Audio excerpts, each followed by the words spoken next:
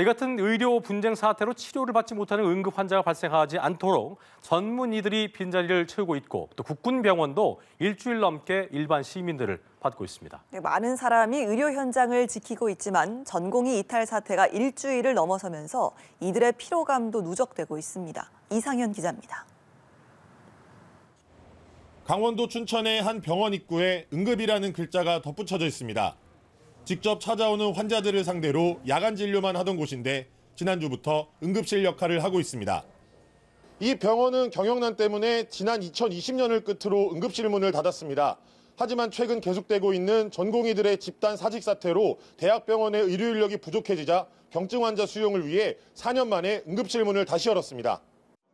국군 수도병원 등 전국 15개 군병원 중 12개 병원도 일주일 넘게 응급실을 개방하고 일반 환자를 받고 있습니다.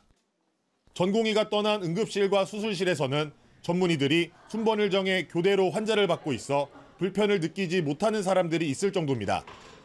오늘도 예약을 했는데 오후, 오후에 세두대 여기는 이제 국민이 좀 들어갈까요? 근데 사립이 사립이 문제가 하지만 이번 사태가 일주일을 넘어서면서 일선 현장을 지키고 있는 의료진들의 피로감은 점점 커지고 있습니다.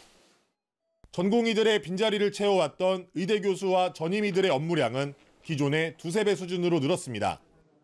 계속해서 올라가고 있는 상황이라고 보시면 될 것 같아요, 피로도가. 지금 당장 뭐 이제 더 못하겠다거나 뭐 그런 상황은 아직은 아니고요.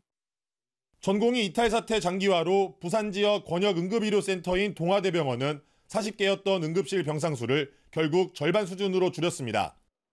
강원 지역 대학병원 응급실도 환자가 30% 감소하고 충북대병원은 병상 가동률이 40%대로 떨어지는 등 환자들의 불편이 가중되고 있습니다.